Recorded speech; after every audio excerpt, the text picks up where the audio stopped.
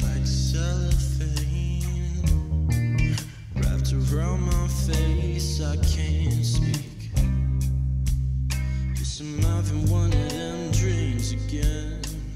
Helpless and frozen in my fears, I'm screaming,